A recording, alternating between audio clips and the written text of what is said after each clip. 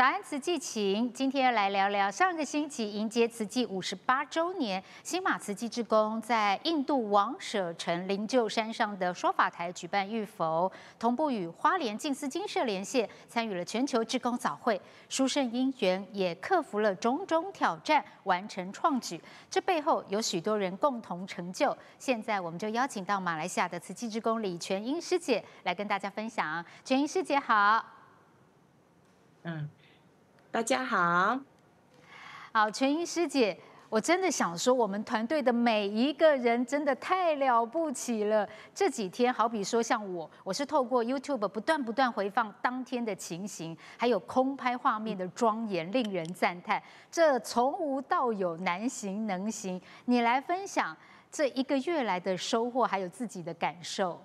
从我接到接受到这一个任务的时候呢，就。心生欢喜吧，应该这么说，也觉得啊，根本没有想到有什么难的东西，我就找了我们的啊，我的好伙伴就是丽玲师姐一起来承担这一个协调的工作。所以那时候我们其实还没有想到有多难，只不过一心就是想到要完成这一个心愿，就是说想把这一份礼物把它完美、把它圆满，它送给我们的上人作为生日礼物。所以在这。一个月、半个月来，在沟通协调上，是不是有遇到哪些困难跟挑战呢？因为我们是在一个多月前就接受了这个任务嘛，所以那时候我们就一直在密集的一直讨论，哇，真的是会很紧张，因为我们在我们完全没有一个概念，我们应该怎么做？因为我们一我们都需要以电话来过，有的人是在。在海外嘛，就是在印度，我们又在马来西亚，有的已经去旅行的又在国外，所以我们一直在用电话里面做交流，一直在电话里面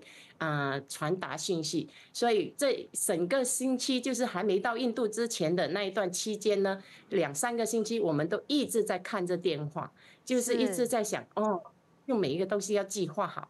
而最大的 克服的挑战，听说是网络连线。我们是找了到了第四间的厂商，而且是改用光纤，最后才成功的，对吗？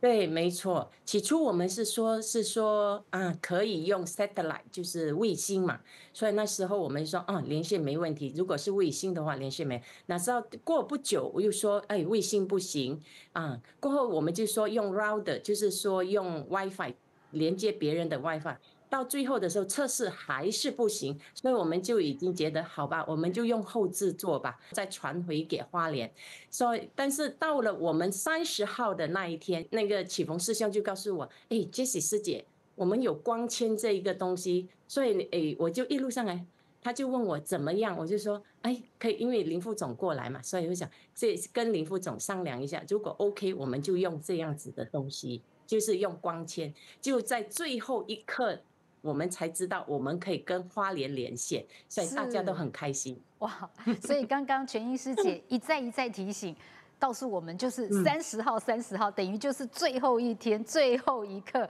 才敲定才完成，所以让大家松了一口气这样子哈。那据说我们在玉佛台上的布置也是注意到不少的细节，以及花了很多的心思哦。因为在布置布置的那一个区块呢，因为我们对的那时候我们没有尺寸嘛，我们有三波人来量这一个衣服啊，讲说法台哦，三波人回去的尺寸都有都有都有差都有差，所以我们到最后的时候，我们就说啊，我们执行团队终于回来回来印度，所以他们再亲自再上去说法台那一边再量过最后的尺寸，才确定说，哎，我们不需要有任何的桌子，就直接用那个石。时装上面就是摆琉璃佛这样子。呃，我们当天是凌晨一点钟就要集合，所以那时候天是非常非常黑的。好，那我们在行经的过程当中，是不是透过一些小小的照明？对，那小小的照明，我相信大家都有看到，那一个就是萤火虫嘛。是，所以我们在。爱收集这些萤火虫，萤火虫这这些萤火虫都是从雪龙带过去的，因为印度那时候还没有，所以我们在带萤火虫过去的时候，也是遇到一些困难，就是说，因为它需要的电池特别小粒，那就是比较小颗的。如果那一个小颗的在印度买的话呢，就可以在马来西亚买三颗，两颗半吧，应该是是。所以我们就想啊，要节约嘛，要成本节约，所以我们就想到。啊，我们大队过来的时候，我们就一次过要买差不多整六十粒的干电池，六十粒你们不能够带一个世界一个人的身上带，所以我们就要分散来带，就是大家都分一些财产过来，就这样子才能够顺利过。嗯，哇，所以这真的都是要提早规划，提早去做一些调查了解，才能够从马来西亚带这个小小的电池来到印度哈。那最后要请呃师姐来跟我们预告一下，五月十二号母亲节、佛诞节全球慈济日，我们在印度的玉佛会在大觉寺举行，啊，这已经是连续第二年举办了。今年的事前准备以及特色是什么呢？